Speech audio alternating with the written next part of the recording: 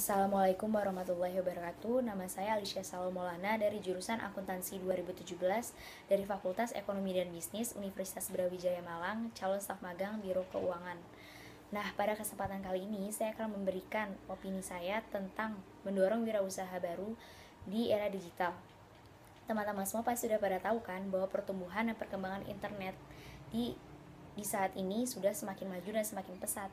Nah, pertumbuhan dan perkembangan internet yang sudah semakin maju dan semakin pesat ini ternyata banyak membawa dampak-dampak positif, dampak-dampak besar bagi kita semua, khususnya untuk masyarakat sekitar.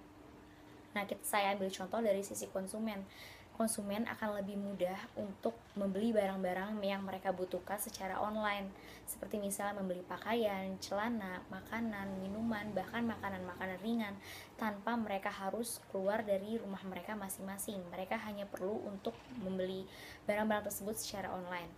Yang kedua, dari sisi produsen, misalnya produs misalnya perusahaan jasa Gojek.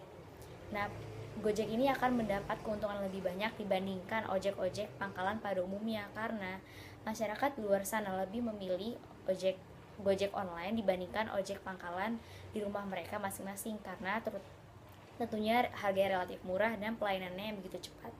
Nah, jadi bisa kita lihat bahwa pertumbuhan dan perkembangan internet yang sudah semakin maju dan semakin pesat ini banyak membawa dampak-dampak besar, terutama untuk transaksi-transaksi bisnis, transaksi-transaksi perbankan, bahkan bisa untuk membuka lapangan pekerjaan.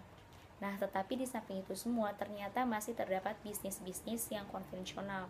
Seharusnya bisnis-bisnis yang konvensional tersebut harus bisa membuka mata dan berinisiatif untuk meluaskan dan melebarkan market-market mereka secara online agar tidak tergantikan oleh para pembisnis bisnis di luar sana yang lain. Uh, contohnya dengan kasus ojek pangkalan Gojek, ojek pangkalan yang digantikan oleh Gojek. Karena ojek pangkalan ini tidak mampu beradaptasi dengan kemajuan teknologi yang sudah begitu maju dan dengan begitu pesat.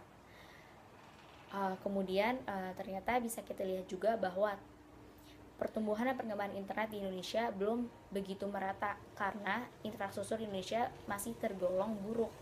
Tetapi saat ini pemerintah sudah menerapkan sistem palaparing yang di mana pemerintah menjamin kualitas internet yang aman, murah, dan berkualitas tinggi di daerah-daerah terpencil sana.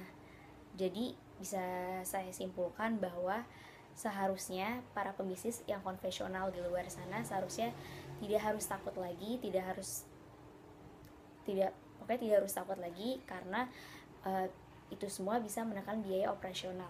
Assalamualaikum warahmatullahi wabarakatuh.